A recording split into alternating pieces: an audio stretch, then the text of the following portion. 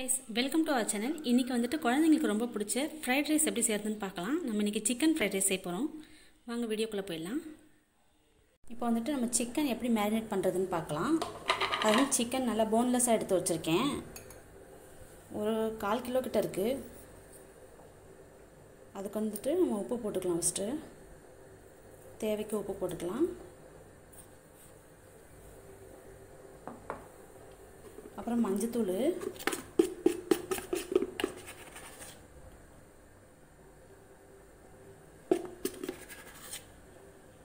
மஞ்சத்தூள் ஒரு அரை ஸ்பூன் கிட்ட போட்டிருக்கேன். அதுக்கப்புறம் கொஞ்சம் சிக்கன் மசாலா போட்டுக்கலாம். சரி. ஒரு அரை ஸ்பூன் கிட்ட மிளகாத்தூள் போட்டிருக்கேன்.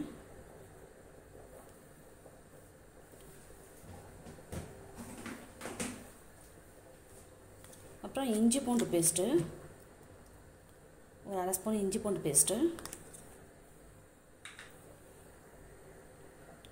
அப்புறம் கொஞ்சோண்டு தயிர் போட்டுக்கலாம். ஒரு ஒரு ஸ்பூன் ஒன்றரை ஸ்பூன் அளவுக்கு தயிர் போட்டிருக்கேன்.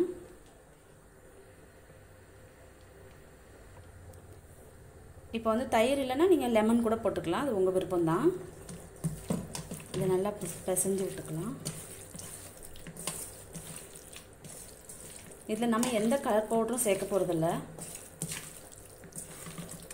நம்ம வீட்டில் செய்கிறதுனால நம்ம வீட்டில் எப்படி செய்வோமோ நார்மல் சாப்பாடு அந்த மாதிரி தான் செய்ய போகிறோம் அஜினமோட்டெல்லாம் போட போகிறதில்ல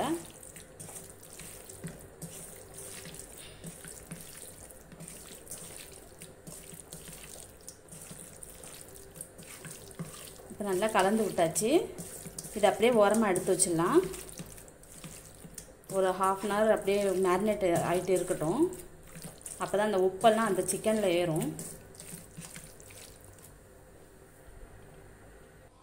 இப்போ வந்துட்டு சிக்கன் மேரினேட் பண்ணிட்டு ஆஃப் அன் ஹவருக்கு மேலே ஆயிடுச்சு. அது ஒரு கடாயில் எண்ணெயை காய வச்சு ஒன்று ஒன்றா போட்டு எடுத்துக்கலாம் கொஞ்சம் கொஞ்சமாக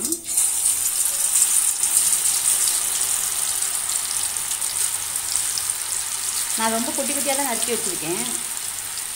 பெருசு பெருசாக வந்து பொரிச்சிட்டு அதுக்கப்புறம் அங்கே கடையிலலாம் சின்ன சின்னதாக நறுக்குவாங்க. நமக்கு அந்த மாதிரி வேண்டாம். அப்படியே எடுத்துகிட்டு நம்ம அப்படியே போட்டுற மாதிரி இருக்கும் சாப்பாட்டில். அதனால் சின்ன சின்னதாகவே நறுக்கி கழுவிட்டேன். வேகட்டும். அடுத்து ஒவ்வொரு பேட்சாக போட்டு எடுத்துக்கலாம் இதே மாதிரி. கொஞ்சம் மீடியம் ஃப்ளேமில் வைங்க. ஹை ஃப்ளேமில் வச்சிடாதீங்க. அது வந்து சிக்கன் ரஃப் ஆகிடும் ரொம்ப. மீடியம் ஃப்ளேமில் வச்சு ஒரு மொத்தமே வந்து ஒரு அஞ்சு நிமிஷம் ஏழு நிமிஷத்துக்குள்ளே எடுத்துடணும் சிக்கனை. அப்போ தான் கரெக்டாக இருக்கும். ஏன்னா நம்ம குட்டி குட்டியாக தான் நறுக்கியிருக்கோம். பெரிய சிக்கன்னா பரவாயில்ல. அதுவும் இல்லாமல் போன்லெஸ் தான் இது. அதனால் கொஞ்சம் நேரம் ஒரு ஏழு நிமிஷத்துக்குள்ளே எடுத்துடணும். இந்த பக்கம் ஒரு மூணு நிமிஷம் அந்த பக்கம் ஒரு மூணு நிமிஷம் போட்டு கூட எடுத்துடலாம். அதுக்கப்புறம் திரும்ப நம்ம வந்துட்டு ஃப்ரைட் ரைஸில் போட்டு கொஞ்சம் சாட்டே பண்ணிட்டு தான் அதுக்கப்புறம் நம்ம சமைப்போம். அதனால் கரெக்டாக இருக்கும். ஒரு ஒரு நிமிஷத்துக்கு மேலே ஆயிடுச்சு. மெதுவாக அப்படியே திருப்பி விடலாம்.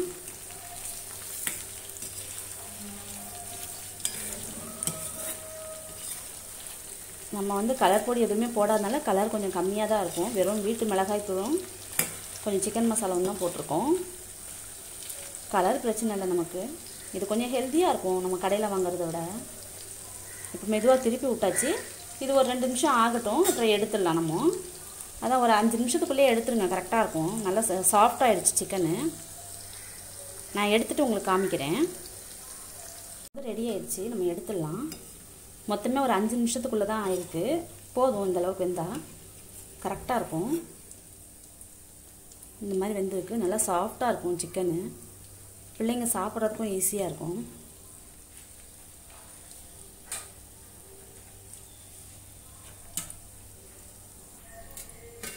இதே மாதிரி எடுத்து போட்டு போட்டு எல்லாமே எடுத்துடலாம். இன்னும் கொஞ்சம் சிக்கன் இருக்குது அதெல்லாம் நான் வறுத்து எடுத்துக்கிறேன். இதே மாதிரியே.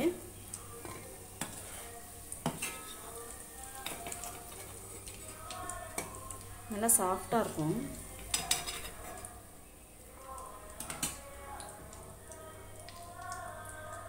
சுடுது. கொஞ்சம் ஆறினோன்னு காமிக்கிறேன். ரொம்ப சூடாக இருக்குது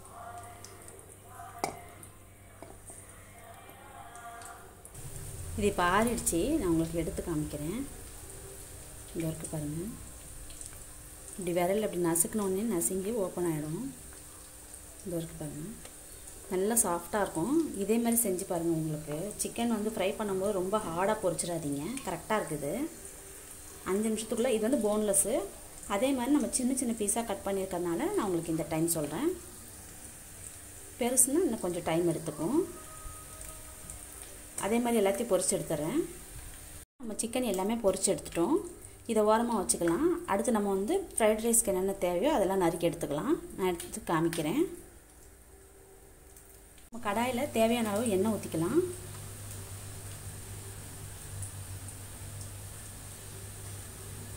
கொஞ்சம் எக்ஸ்ட்ரா ஊற்றிக்கோங்க ஏன்னா நம்ம சாப்பாடும் இதில் தான் போட்டு கலர போகிறோம் அதனால் அந்த சாப்பாட்டுக்கு தேவையான அளவுக்கு சேர்த்து ஊற்றிக்கோங்க இப்போ ஸ்டவ்வை வந்து கொஞ்சம் மீடியம் ஃப்ளேமில் வச்சுக்கோங்க. இப்போ வந்துட்டு ஸ்டவ் மீடியம் ஃப்ளேமில் தான் வச்சுருக்கோம். சிம்மில் கூட வச்சுக்கோங்க. ஃபஸ்ட்டு வந்து நம்ம முட்டையை உடச்சி ஊற்றிக்கலாம் பார்த்து ஊற்றுங்க ஓடு விழுந்துடக்கூடாது.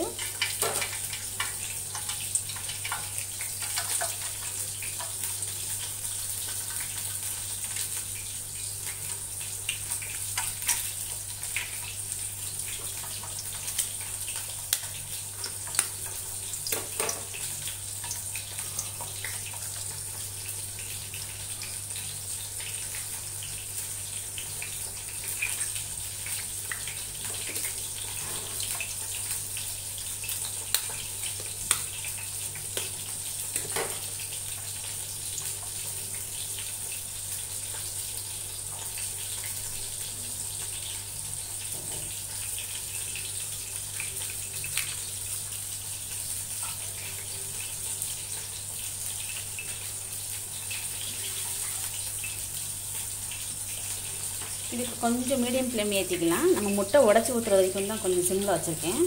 ஏன்னா முட்டை வந்து பொறிஞ்சிரும் ரொம்ப. ரப்பர் மாதிரி ஆயிடுச்சுன்னா நல்லா இருக்காது. இப்போ வந்து நம்ம இதை உடச்சி விட்டுறலாம்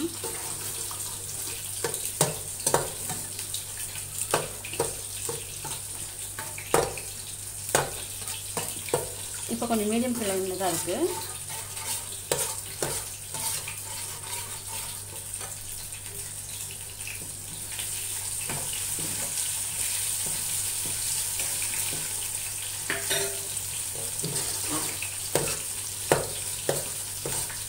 இது வந்து கொஞ்சம் சாஃப்டாக இருக்கும் முட்டை. அதனால் ஹை ஃப்ளேமில் வச்சு பொரிச்சிங்கன்னா ரொம்ப ரஃப் ஆகிடும் அதனால தான் நான் மீடியம் ஃப்ளேம்லேயே வச்சு பொரிக்கிறேன். பொறிச்சு எடுத்துகிட்டு காமிக்கிறேன். அவ்வளோதான் முடிஞ்சிச்சு இதை எடுத்துடலாம் கூட. இந்த மாதிரி பொறிச்சு எடுத்துக்கிட்டோம். இதில் வந்து நான் இன்னும் எதுவும் போடலை. உப்பு போடல மிளகுத்தூள் எதுவும் போடல. இப்போ நம்ம எல்லாமே காயோடு சேர்த்து இதை போட்டு கிண்டுவோம். அப்போ எல்லாமே போட்டுட்டு கரெக்டாக இருக்கும். கொஞ்சம் வந்து முக்காவே கடை எடுத்துக்கோங்க. அப்போ தான் ரொம்ப சாஃப்டாக இருக்கும் முட்டை. ரொம்ப பொரிஞ்சிருச்சுன்னா மொறு மொன்று ஆயிடுச்சுன்னா பசங்களுக்கு கஷ்டமாக இருக்கும் சாப்பிட்றதுக்கு. இப்போ வந்துட்டு நம்ம எண்ணெயை காய வச்சுருக்கோம். காய வச்சுட்டு திரும்ப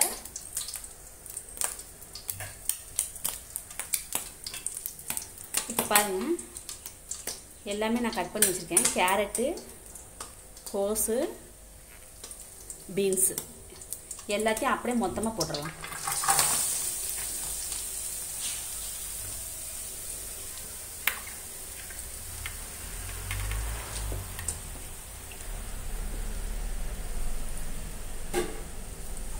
ஸ்டவ்வை ஃபுல் ஸ்பீடில் வச்சுருங்க.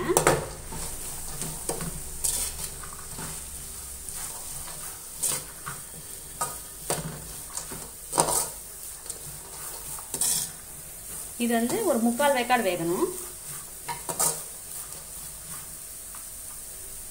கொஞ்சம் வேகட்டும்.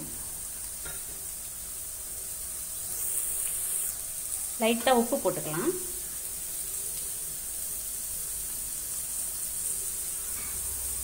ரைட்டாக அந்த காய்க்கு தேவையான அளவு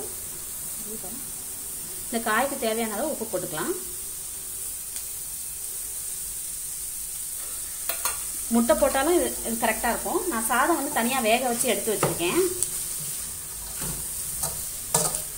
அதுலேயும் நான் உப்பு போட்டுட்டேன். ஏன்னா அது அதுக்கு தேவைக்கு நம்ம உப்பு போட்டோம்னா அப்போ கரெக்டாக இருக்கும். இப்போ நீங்கள் சாதத்துக்கும் சேர்த்து இதில் நீங்கள் உப்பு போட்டிங்கன்னா காய் ரொம்ப உப்பு கடிக்க ஆரம்பிச்சிடும் அதனால் அதுக்கு தேவையான அளவு நம்ம உப்பு போட்டு செஞ்சால் போதும். அதே மாதிரி சிக்கன் ஃப்ரை பண்ணோம். அதுக்கும் தேவையான அளவு உப்பு போட்டாச்சு அதுலேயே. இப்போ நம்ம எல்லாத்தையும் போட்டு கலரும் போது கரெக்டாக இருக்கும்.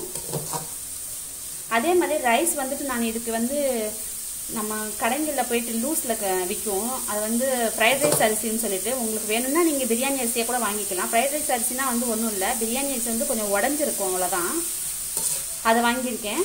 அதே மாதிரி குக்கரில் வேணுன்னா நீங்கள் குக்கரில் வச்சுக்கலாம். ஒரு ஒரு டம்ளர் ரைஸ்க்கு ஒன்றரை டம்ளர் தண்ணின்னு சொல்லிட்டு நான் வந்து அப்படியே வடித்து வச்சுருக்கேன். எனக்கு இது ஈஸியாக இருக்குது ஏன்னா குக்கரில் போடும்போது ஒரு சில டைமில் லைட்டாக குழஞ்சிட்டா கூட ஒன்றோட ஒன்று ஒட்டிக்குது ரைஸு நம்ம வேக வச்சு வடிக்கும் போது முக்கால் வேக்காடு இருக்கும்போது நான் வடித்து எடுத்து மூடி போட்டு அப்படியே வச்சுருவேன். அது வந்து அப்படியே கொஞ்சம் வெந்துட்டு இருக்கும்.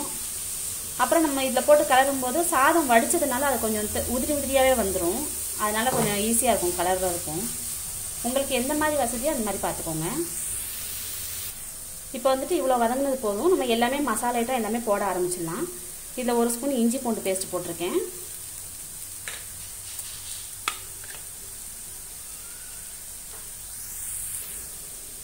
ஒரு முக் ஒரு முக்கால் ஸ்பூன் அளவுக்கு வந்துட்டு மிளகாத்தூள் போட்டிருக்கேன்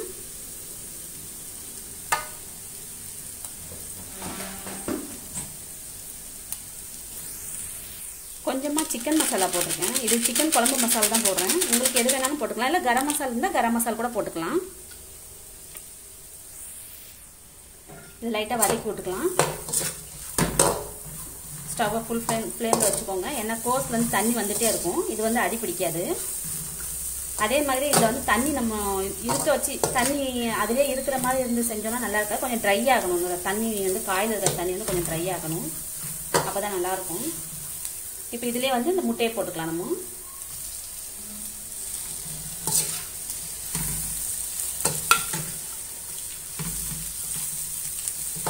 ஃபுல் ஸ்பீடில் தான் இருக்குது ஸ்டவ்வு சிம்மில் வைக்க வேண்டாம். நான் மசாலாலாம் எடுத்து வை எடுத்து இங்கே வைக்கிற வைக்கணும் நான் சிம்மில் வச்சேன். ஏன்னா அதுக்குள்ளே காய் தீஞ்சிடக்கூடாதுன்னு சொல்லிட்டு. எல்லாமே பக்கத்தில் இருந்துச்சுன்னா நீங்கள் ஸ்டவ் சிம்லேயே வைக்க வேண்டாம். இப்படியே வதங்கிட்டு இருக்கட்டும் இப்போ வந்து கொஞ்சோண்டு டொமேட்டோ கெச்சப் போட்டுக்கலாம்.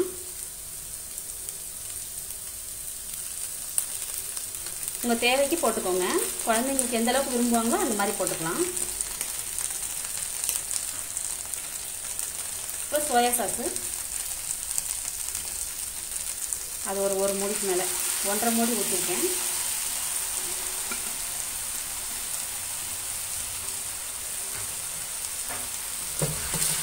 இதை கலந்து வச்சுக்கலாம் இப்போ வந்துட்டு நம்ம முட்டையில் உப்பு போடல அது எல்லாமே சேர்ந்துரும். காயில் இருக்க முட்டைக்கு இது கரெக்ட் காயில் இருக்க உப்பு வந்து முட்டையில் சேர்ந்துரும். கரெக்டாக இருக்கும். ஸ்டவ் ஃபுல்லாக தான் இருந்துட்டுருக்கு சிம்மில் வைக்கல.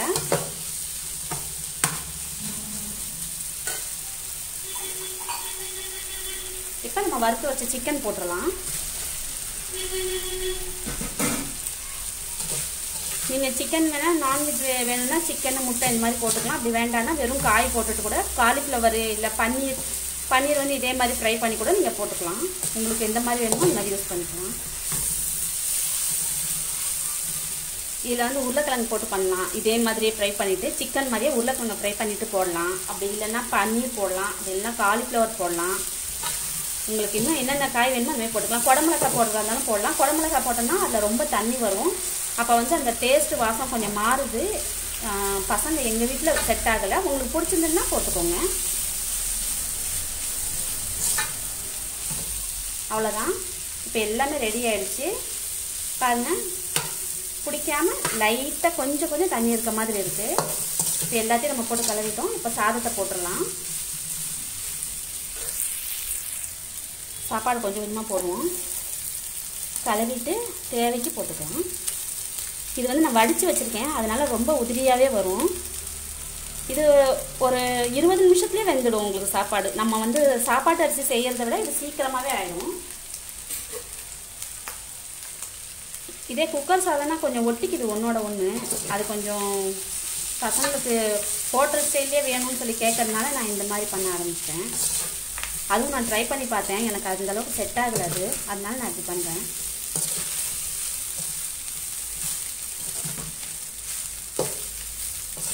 சாதம் வந்து கொஞ்சம் உடஞ்சிடாத மாதிரி கிளறி விடுங்க.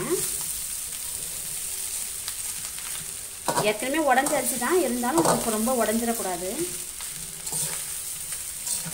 இந்த மாதிரி இப்படி எடுத்து போட்டு விட்டோம்னா கொஞ்சம் உடையாமல் வரும்.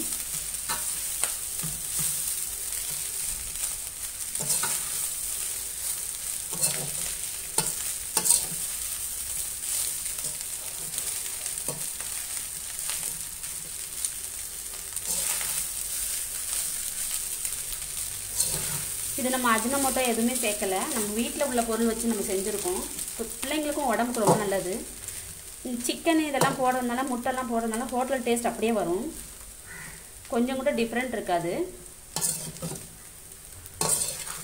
இது நான் வந்து ஒரு டென் டேஸ்க்கு ஒன்ஸ் ஆச்சு நாங்கள் செஞ்சுருவோம் வீட்டில் இப்போ வந்துட்டு நம்ம சாப்பாடு போட்டு ஒரு ஒரு நிமிஷம் ஆயிடுச்சு. நம்ம கொஞ்சம் இந்த மாதிரி தடவி இப்படி வச்சிட்டோன்னா ஒரு நிமிஷத்தில் அந்த கறியில் இருக்கிற கொஞ்சம் இந்த வாட்டர் கண்டென்ட் எல்லாம் சாப்பாட்டில் இறங்கி டேஸ்ட் நல்லாயிருக்கும் இப்போ வந்து நம்ம ஆஃப் பண்ணுற ஸ்டேஜில் ஒரு ஒரு ஸ்பூன் மிளகுத்தூள் போட்டுக்கலாம். ஒரு ஸ்பூன் அளவு மிளகுத்தூள் எடுத்திருக்கேன். இப்போ நம்ம ஆஃப் பண்ண தான் போகிறோம் ஸ்டவ் இந்த இப்போ வந்து மிளகுத்தூள் போட்டுட்டு உங்களுக்கு நெய் இருந்துச்சுன்னா நெய் போட்டுக்கோங்க. எனக்கு நெய் நான் வாங்கி வைக்கல அதனால நான் போடலை. இன்றைக்கி காலி ஆயிடுச்சு எனக்கு. நெய் போட்டால் நல்லாயிருக்கும்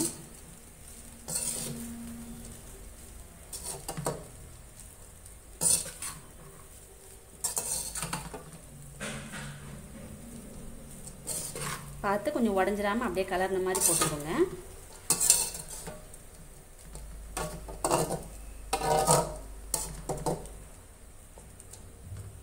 இது வந்து அரிசி கொஞ்சம் விலையும் கம்மியாக தான் இருக்கும். நமக்கு பிரியாணி அரிசி தான் உடஞ்ச அரிசி இது கொஞ்சம். லைட்டாக உடஞ்சிருக்கும். ரொம்பலாம் இல்லை. ஒன்று ரெண்டாக இருக்கும். இதில் செஞ்சு பாருங்கள் நீங்கள் சாப்பாடு. நம்ம சாப்பாட்டு அரிசியை விட நல்லாயிருக்கும் ஹோட்டலில் வாங்குற மாதிரி. ஓகே முடிஞ்சிச்சு. நான் எண்ணெயும் ரொம்ப அதிகமாக போடலை பாருங்கள் எண்ணெயும் ரொம்ப கம்மியாக தான் போட்டிருக்கேன். அதுக்காக தான் லாஸ்ட்டில் கொஞ்சம் நெய் போடுவேன். இன்றைக்கி நெய் இல்லாதனால தான் நான் போடலை. நெய் போட்டால் இன்னும் நல்லா வாசமாகவும் இருக்கும். கொஞ்சம் நல்லா எண்ணெயாக இருக்கும் பார்க்குறதுக்கு இது கொஞ்சம் எண்ணெய் இல்லாமல் தான் இருக்கும். பரவாயில்ல டேஸ்ட் நல்லாயிருக்கும் எடுத்து வச்சு நான் சர்வ் பண்ணி காமிக்கிறேன். ஃப்ரெண்ட்ஸ் இப்போ நம்ம சிக்கன் ஃப்ரைட் ரைஸ் ரெடி ஆயிடுச்சு. உப்பு எல்லாமே கரெக்டாக இருக்குது நீங்கள் இந்த மாதிரி ட்ரை பண்ணி பாருங்கள் குழந்தைங்களுக்கு ரொம்ப பிடிக்கும். இது பிடிச்சிருந்தா லைக் பண்ணுங்கள் ஷேர் பண்ணுங்கள் கமெண்ட் பண்ணுங்கள் நம்ம சேனலுக்கு சப்ஸ்கிரைப் பண்ணுங்கள் தேங்க்யூ ஃபார் வாட்சிங்